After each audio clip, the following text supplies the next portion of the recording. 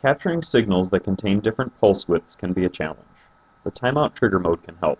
Let's perform an experiment and take a closer look.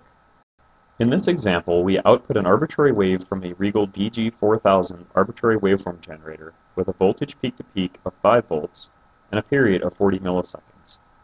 Now we configure the waveform to have three pulses in every period. Two of them have a 5 millisecond pulse width, and the third has a 10 millisecond pulse width. Now we connect the signal to channel 1 of a DS2000 oscilloscope. Press Auto. The trigger is not stable because there are three trigger events in every period. Using single mode, we can see that the trigger point is not fixed. Now let's try the timeout trigger. Set the trigger mode to timeout trigger and the source to channel 1. Now press the slope button to set the edge type to rising.